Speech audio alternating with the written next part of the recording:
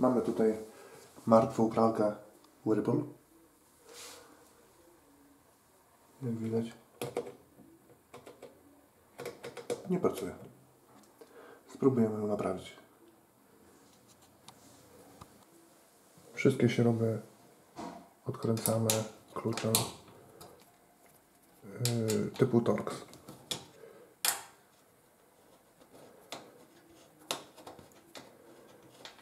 I zaraz postaramy się wyjąć programator.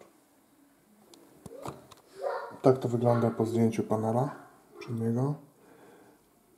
I zaraz po otwarciu tych zatrzasków tutaj dobierzemy się do programatora.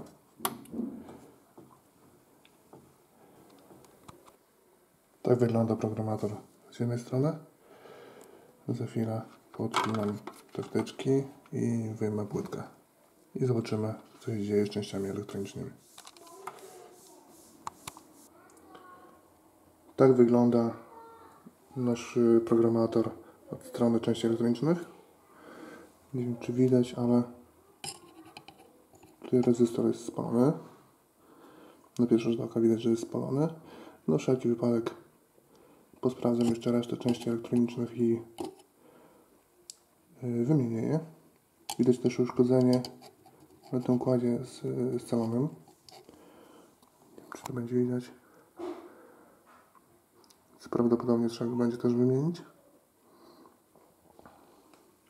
Użyję części elektronicznych, które kupiłem na aukcji yy, na znanym portalu. Łatwo znaleźć, wystarczy wpisać zestaw naprawczy do, do programatorów Whirlpool. I zaczniemy lutować. Przeniosę się trochę w inne miejsce, bo yy, tutaj nie mogę.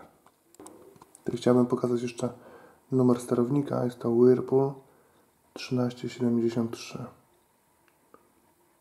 Ale, ale inne programatory Whirlpoola yy, mają bardzo podobną budowę. Już jesteśmy gotowi do lutowania. Na początek wylutujemy stare części. Właśnie wylutowałem uszkodzone elementy lub podejrzane o to, że są uszkodzone. Między ten układ scalony jest najważniejszy.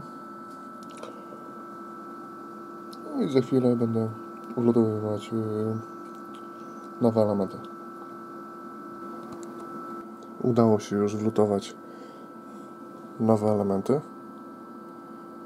Widać i za chwilę sprawdzimy, czy, czy będzie to działać. Włożyłem właśnie programator do budowy. Jeszcze nie wkładałem szufladę. Jeszcze nie wiadomo, czy coś się będzie działo.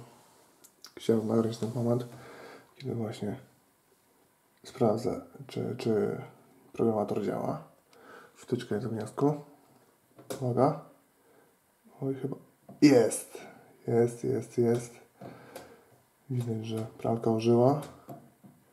Koszt całej naprawy około 30 zł.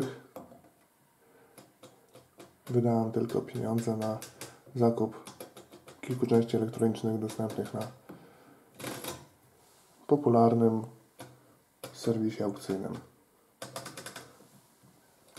Więc nie warto wydawać pieniędzy, przepłacać na nowe programatory. Chciałem jeszcze dodać, że użyłem y, części mocniejszych niż stosuje producent, y, dlatego pralka y, powinna pracować coraz dłużej. Dziękuję za uwagę i życzę powodzenia.